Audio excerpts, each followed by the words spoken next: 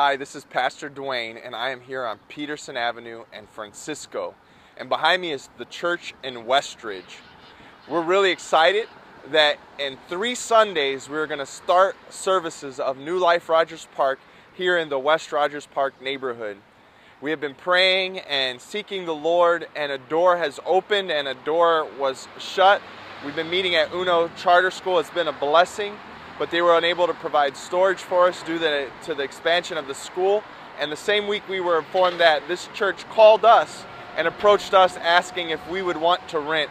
And so right here on one of the most busiest streets on the north side, north side is a church with an auditorium that will hold 300 people, has a full court gym, beautiful children's classrooms, and we will be starting to meet here in the second weekend of September before we have any Sunday service, we're going to do a Friday, Friday night prayer meeting dedicating and consecrating this new season unto the Lord.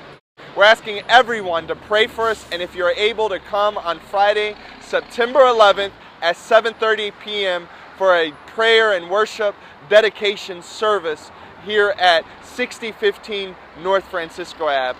And then that Sunday morning, September 13th, we'll have our first ever services in the West Rogers Park neighborhood right here for New Life, the New Life Rogers Park 3.0 edition, a brand new season and a great location with tons of traffic behind us. And we're believing that the altar will be packed and people will be coming to Christ at this new location. Please pray for us.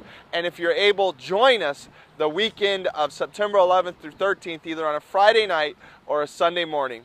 God bless you.